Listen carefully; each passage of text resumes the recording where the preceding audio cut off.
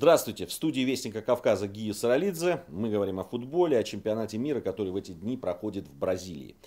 Э, о сборной России, о том, что сопровождало ее игру, и вот те комментарии, которые были, э, да и о самой игре мы уже поговорили. Сейчас давайте поговорим о тех тенденциях, о том интересном, что произошло, собственно, вот в этом э, первом круге, в этих первых матчах.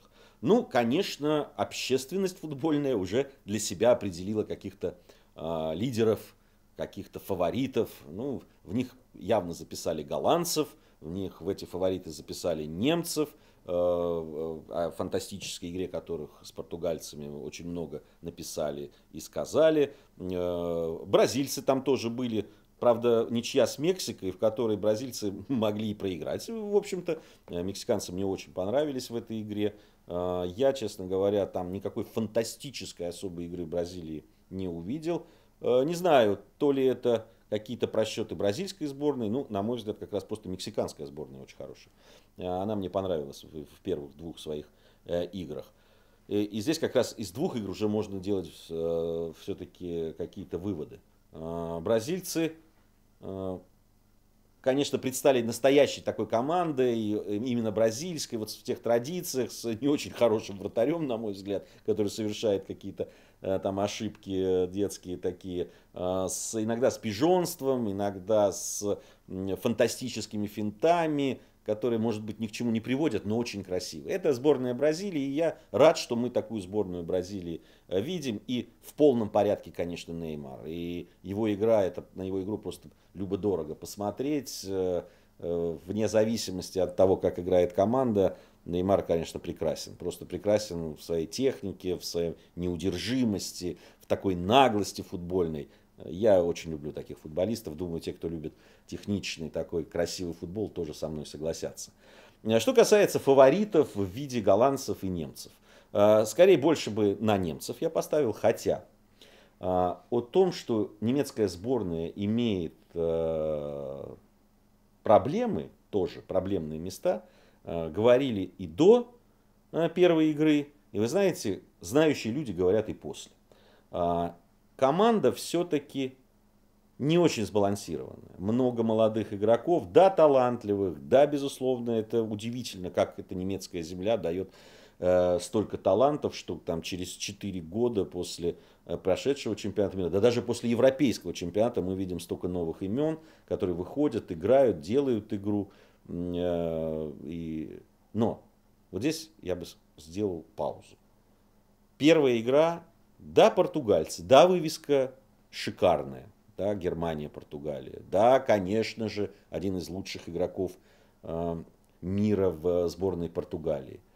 Но ни наличие Криштиана Роналду, ни наличие других очень громких имен в сборной Португалии не делает эту команду супер э, сборной. И отборочный цикл чемпионата мира, где играла и сборная России, это показал.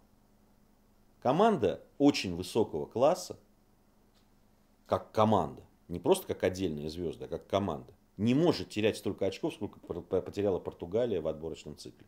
Да, Португалия, наверное, мы ожидали, что она будет выглядеть э, на чемпионате мира не так, как в отборочном цикле, и это обычно так случается. Но команда была вареная. Команда была совершенно не заряженная на игру. Это это не игра вот таких звезд на чемпионате мира, то, что мы увидели в исполнении а, португальцев. И дело даже не только в немцах. Дело вообще в поведении. Да как, можно, как может человек удаляться при счете 1-0 э, в такой момент, там, или там 2-0 уже было, я уже не помню, но неважно. Когда ну, команде нужно отыгрываться, удаляться вот так глупо, как это э, сделал португальский защитник. Но это невозможно просто. Это говорит о настрое команды на игру. Поэтому я бы подождал прежде чем вот так вот прямо огульно фаворитами называть э, одним из фаворитов немцев. Они фаворитами были всегда. В каком бы состоянии команда ни была, какая бы сборная у Германии ни была, они в принципе входят в число тех, кто будет претендовать на призовые места. И этот чемпионат не исключение, конечно же. Но э, вот те авансы, которые сейчас команде выдаются, те прямо хвалебные оды, которые были пропеты команде, мне кажется, еще немножко рановато. Точно так же, как голландцы. Господа, ну первый тайм голландцы проиграли испанцам. Совершенно очевидно проиграли. Испанцы делали, что хотели. Играли в свою игру, держали мяч э, подолгу. Да, это их там фирменный стиль. Но голландцы ничего не противопоставили этому. Забили один гол, ну, там сейчас э, можно долго там, спорить э, о пенальти и так далее. Но ведь могли забить и второй. Причем забить после гениального абсолютно э, паса Иньесты, такого фирменного. И если бы просто не стал пижонить Сильва, а просто, просто сделал бы то, что он должен был сделать, просто забил бы там этот гол, а не, не стал перебрасывать через вратаря. 2-0, и, и где ваша феерическая, прекрасная сборная Голландии? а не случись этого фантастического э, гола в самом конце. То есть вот э, Сильва не забил, в следующей атаке сравнивают счет голландцев. Это футбол. То, что испанцы не смогли выдержать этот удар, и то, что они развалились, это другой вопрос. Это вопрос к испанцам. Но э, голландцы здесь, да, показали хороший футбол, качество, которое мы привыкли от них видеть. Те же лица, которых мы прекрасно знаем. Они играют, забивают, э, все нормально. Рабен, Ван Перси, все, все известно. Да, там Блинт, вот это новая поросль. Но что будет дальше? Не знаю. Посмотрим. Посмотрим. Вот тоже вот эти вот... Я не удивлюсь, что если там голландцев, которые наверняка из группы все-таки выйдут, я думаю, э, кстати, испанцы, возможно, тоже это сделают. Не факт, что э, там тоже испанцев как-то списали, все, там конец великой команды. Да подождите вы еще хоронить великую команду. Посмотрим, что дальше будет.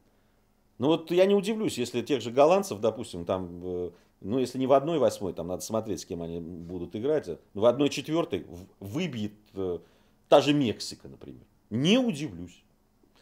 Рано, господа, рано пока э, делать какие-то выводы, но то, что чемпионат потрясающий с точки зрения зрелищной игры, с точки зрения забитых мячей, а, атакующего футбола, это однозначно.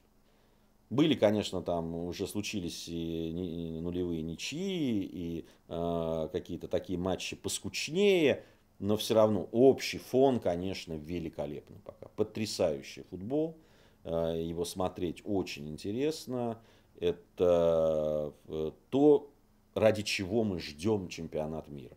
Иногда вот эти первые матчи, ты ждешь, ну ладно, сейчас первые матчи, потом начнется поинтереснее, а потом ты думаешь, ну ладно, сейчас групповые матчи, а потом четверть, а, одна восьмая, четвертьфинал, игры на вылет, там будет все интереснее. А здесь прямо с места в карьер. Я надеюсь, что так и будет продолжаться, хотя вот мой коллега Юра Розанов, с которым мы сейчас Э, по утрам говорим о чемпионате мира, э, он, кстати, человек э, не только угадал счет, не угадал, а предсказал, я бы правильно вот так сказал, предсказал счет, с которым закончится матч Южная Корея и Россия, но и предсказал, как будут развиваться события в этом матче.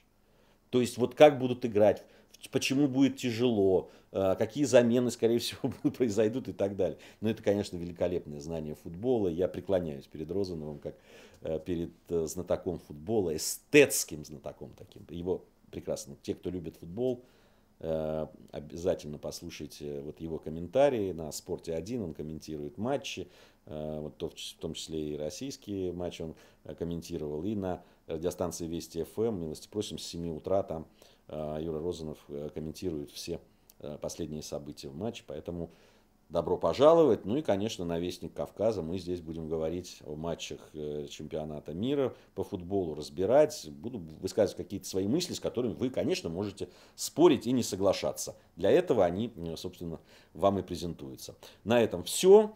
Я надеюсь, что совсем скоро мы встретимся и обсудим те события, которые будут происходить на чемпионате мира. Спасибо.